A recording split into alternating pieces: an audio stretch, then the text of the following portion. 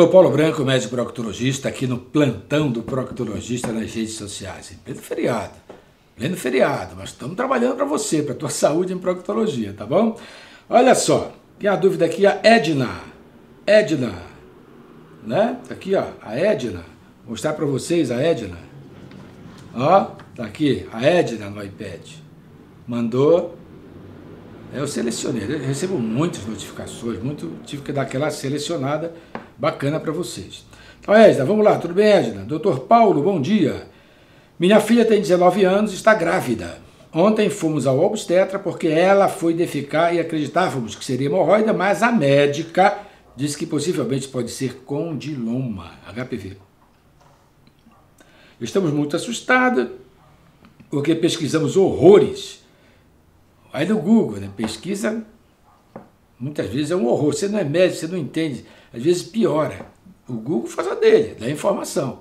Mas às vezes tem pessoas que, pelo emocional, muito ansiosa, ficam, aí já vão piorando, essa que é benigna, já vira essa maligna, e às vezes não é bacana. Não é bacana, não. Vai no médico. O Google é excepcional para todo mundo, no mundo, a informação do Google. O conteúdo do Google não tem igual, é fantástico. Mas na medicina não procura muito, né? Que às vezes você fica apavorada, não é? É, estamos muito assustada porque pesquisamos horrores e estamos com a guia para passar com o cirurgião, que ainda não encontramos, tá? Então é isso. E aí, a, a, os pacientes imunodeprimidos, já falei, né, os, os transplantados, quimioterapia, eles têm, não têm a vigilância imunológica. Imagina que aqui seja um vírus HPV, acabou de entrar, Lá vem a vigilância imunológica, os anticorpos sedentos no vírus. Né? Os imunodeprimidos, que eu falei, transplantado e tal, eles têm uma vigilância imunológica menor. Estressado, o cortisol, o que ele faz? Ele varre essa vigilância imunológica. Então, HPV deita e rola. Não tem soldado, não tem ninguém, pá, vou para a cocheira. Vou lá e toma conta, vai tomando conta, não é? Ele vive lá na camada profunda da pele, sobe vai tomando conta. A grávida, nos primeiros meses, ela fica exposta a infecções. Uma delas é o HPV. Mas eu vou confessar uma coisa para você.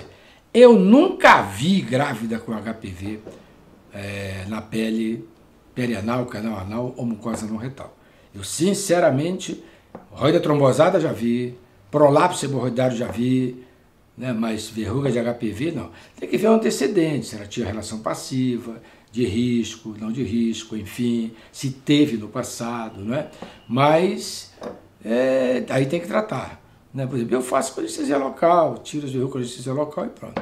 Se é um médico com essa experiência, que faça com muita facilidade para não agredir, ela está muito sensível na fase da gravidez. Não tem problema nenhum, com certeza vai. E depois, no follow-up, depois da gravidez, você continua acompanhando com anoscopia de alta resolução, carga viral do HPV, da pele perianal, do canal anal, enfim, estuda a citologia do canal anal se precisar, mas depois. Mas no momento dá para tirar. Anestesia local, se tiver experiência, se vai lá, tira e pronto. Tá bom? Um abraço. Entra no meu canal de vídeos, proctologista Dr. Paulo Branco. Uma produção semanal de 15 vídeos a 20 para você, para a tua saúde em proctologia. Siga de atualização para receber os novos vídeos. O canal é Proctologista Dr. Paulo Branco. Este canal de vídeo tem um link para o meu site, topaulobranco.com.br. Olha, lá no site tem muitas fotos de verrugas de HPV. Muitas, hemorroida, fissura. topaulobranco.com.br. Redes sociais, Facebook, Instagram, arroba proctologista. E no Instagram, vai lá no GTV. Muito vídeo para você. Um abraço.